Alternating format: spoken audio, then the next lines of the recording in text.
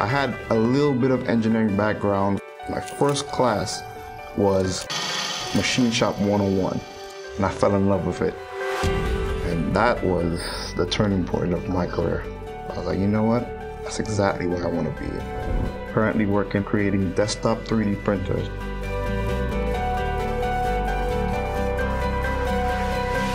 Working with something that's revolutionizing the industry right now is just amazing.